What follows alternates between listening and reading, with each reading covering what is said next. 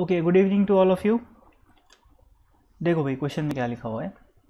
A shell is fired from a cannon with a velocity V at an angle theta with the horizontal direction ठीक है?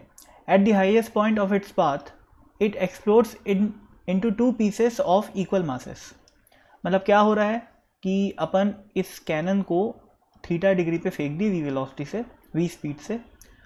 और ये वाला जो point है ना, ये टॉप मोस्ट पॉइंट है। इस पॉइंट पे क्या हो रहा है कि कैनन दो बराबर हिस्सों में फूट जा रहा है। ठीक एक्सप्लोड हो रहा है। कैनन मतलब क्या होता है? तोप का गोला। मतलब जो शेल है, वो क्या है? तोप का गोला है। तो वो इस पॉइंट पे जाके फूट गया दो बराबर हिस्सों में। अब क्या बोला है? दो बराबर हिस्सों में से एक हिस्सा अपने पाथ को रिट्रेस किया। इसका मतलब क्या हुआ? कि पहले जो कैनन है, वो ऐसे गया। ठीक है? अब यहाँ पर ये फूट गया। उसके बाद क्या हुआ? फूटने के बाद एक काम करता हूँ मैं। इसको मिटा देता हूँ और दो छोटे हिस्से बना देता हूँ यहाँ पर। दो हिस्सों में फूट गया ये, है ना? अलग अलग कलर से बना देता हूँ। मान लो ये छोटा हिस्सा पिंक वाला और ये दूसरा वाला हिस्सा ब्लू वाला। दोनों बराबर मास के ध्यान रखना।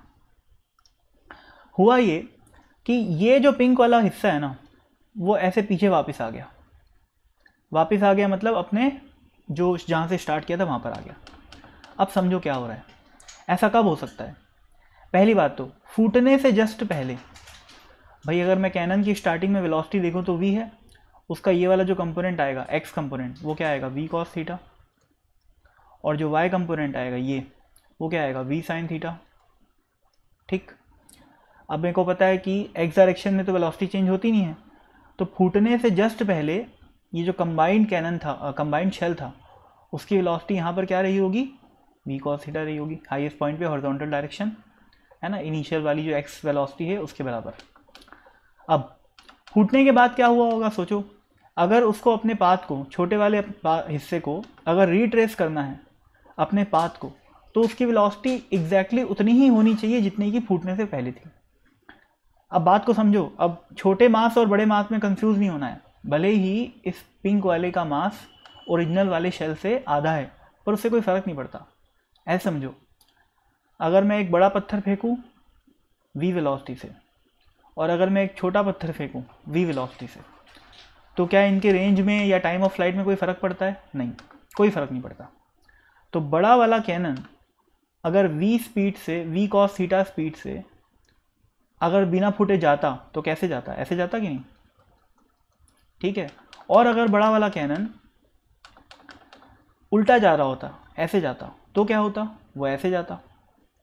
क्योंकि प्रोजेक्टाइल मोशन में स्टार्टिंग से लेकर टॉप का जो पॉइंट पाथ होता है और टॉप से लेकर जो एंड पॉइंट होता है, वो बिल्कुल सिमेट्रिकल होता है। यानी कि ये वाला हिस्सा और ये वाला हिस्सा बिल्कुल सिमेट्रिकल होता है। तो इस पूरी डिस्कशन से अपन लोग ये समझ गए कि फूटने के जस्ट बाद ये जो पिंक वाला हिस्सा है, वो वी कॉस थीटा से जाएगा। तभी जाके वो अपने पाथ को रिट्रेस कर सकता है। ठीक है? अब सोचो। अब ये जो, अब तो ये ब्लैक हो गया वैसे पिंक वाला, कोई बात नहीं। अब ये जो ब्लू वाला है हिस्सा, उसकी वेलोसिटी क्या होएगी जस्ट आफ्टर द फूटना? क्या लिखा हुआ है, देखो। The speed of the other piece immediately after the explosion फूटने के जस्ट बाद जो अदर वाला हिस्सा है, दूसरा वाला पार्ट है, उसकी स्पीड क्या होगी, ये अपने को पूछा हुआ है। तो उसको मैं वी डैश मान लेता हूँ। अब मेरे को एक और चीज़ क्या पता है यहाँ पर? कि just before and just after the explosion momentum will be conserved इसका मतलब क्या हुआ? इनिशियल मोमेंटम बराबर फाइनल मोमेंटम है ना? इनिशियल मोमेंटम मैं काम करता हूँ, ये जो ओरिजिनल वाला है, इसका मास को टू एम मान लेता हूँ और इन दोनों छोटे टुकड़ों का मास को मैं एम एम मान लेता हूँ। तो पी इनिशियल कितना हो जाएगा? Two M into V cos theta just before the explosion combined mass ऐसे जा रहा था वी कॉस थीटा है ना? और जस्ट बाद, ये जो काला वाला पार्टिकल है वो कितनी स्पीड से जा रहा है? वी कॉस थीटा मास कितना है? एम तो इसका मोमेंटम कितना हो गया? M V cos theta with a minus sign minus क्यों? क्योंकि वो नेगेटिव एक्स डायरेक्शन में जा रहा है। आई कैप लगाने की कोई ज़रूरत नहीं है, क्योंकि हम लोग ये लगा लो, चलो। यहाँ पर आई कैप लिख लो। यहाँ पर भी आई कैप लिख लो। ठीक? प्लस ये जो ब्लू वाला पार्टिकल है, उसकी वेलोसिटी उसकी स्पीड क्या है? वी डैश है। तो मोमेंटम क्या हो गया? एम वी डैश और डायरेक्शन हो गई प्लस आई कैप ये एम तो कट गया। ठीक? अब ये देखो, ये माइनस वी कॉस थीटा इसके साथ जाके जुड़ जाएगा। ठीक है ना? और दो तीन, दो और एक तीन बन जाएगा। तो three V cos theta is equal to क्या आ गया? V dash I cap I cap तो कट ही जाएगा, है ना? तो वी डैश यानी कि speed of the particle just after the explosion is three V cos theta तो ए इज़ द आंसर है ना?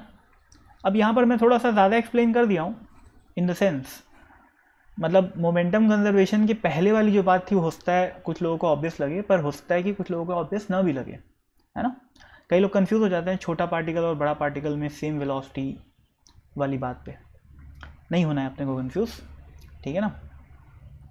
इतना समझ लो, अगर एक पार्टिकल ऐसे वी स्पीड से फेंका गया और अगर ऐसे वी स्पीड से फेंका गया एक पार्टिकल तो ऐसा और ऐसा पाथ होगा, दोनों का बिल्कुल सिमेट्रिकल होगा irrespective of the masses of the two particles ठीक है ना? चलो भाई, ख़त्म कहानी। बहुत बहुत धन्यवाद।